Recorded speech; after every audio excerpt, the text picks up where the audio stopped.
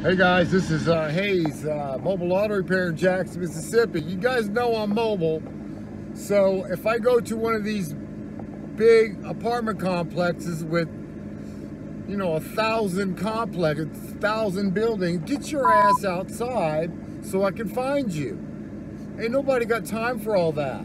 Stand out, don't wait up in the house for me until I pull up. Just get your butt outside so you can wave me down because I ain't got time for that. HHJJ QXP building. I, I ain't got time for that.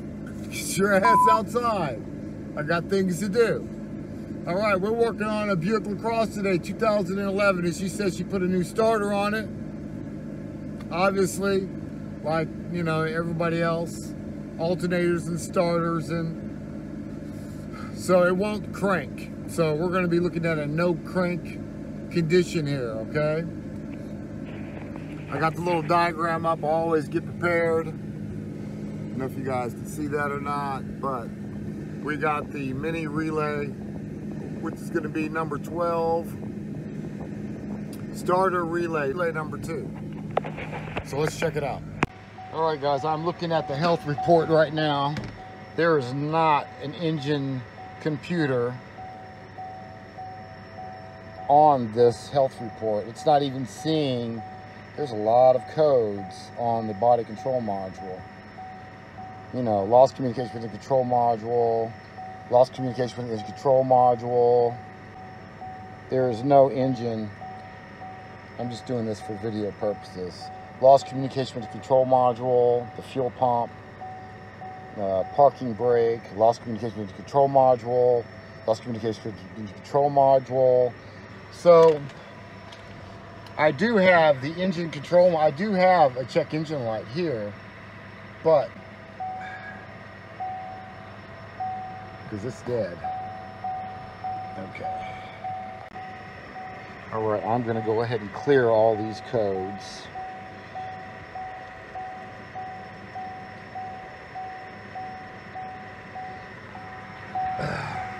But before I do that, I'm going to talk to the customer let her know, let her see all this.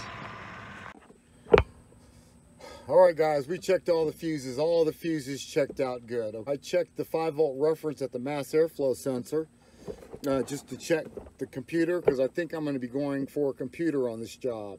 I had my 4.9 volts at my, my reference turned out to be good. So the next step would be going for the computer, checking the powers and checking the grounds, okay?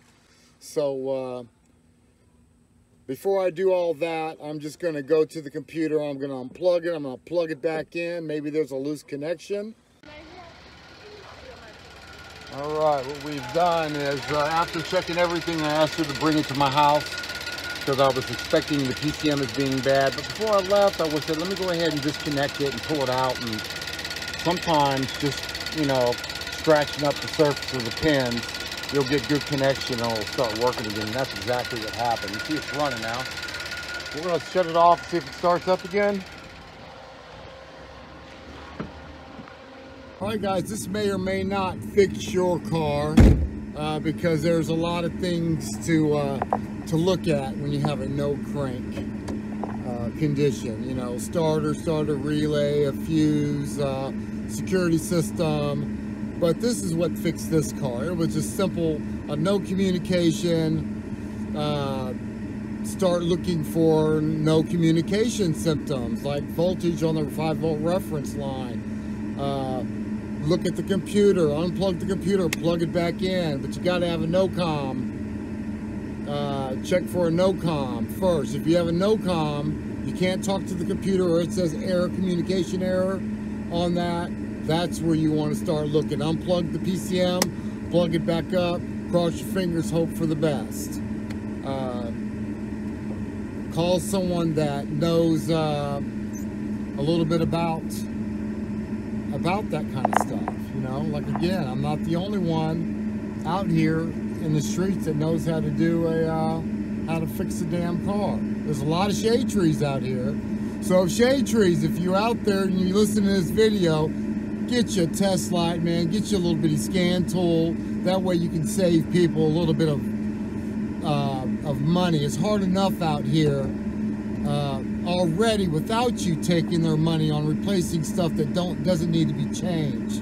There's a people are struggling out here. They don't need you to take their two, three hundred, four, five hundred dollars if you're not fixing nothing. All right, so get your little scan tool, listen to some YouTube videos, educate yourself. If you can't go to school, find someone on YouTube that you respect uh, and listen to them, man. And they're going to teach you a lot. Uh, that's how I got a lot of my my training after the military. Is I I watch YouTube videos, and the guy that I watch is Scanner Danner. Now he's awesome. He's uh, been watching him since 2013, and you know, because I could always tear down a motor and put it back together again, a transmission, and I could do the mechanical stuff. But he's taught me, uh, and I'm still learning. He's, he's taught me the majority of what I know about electrical systems, and I'm still learning. Like I said, I'm not the best, but I I do pretty good. So, anyways, that's a wrap. You guys enjoy your week. Have a nice stay out of this heat because it's hot. And I'm out. Peace. Don't gas test, y'all.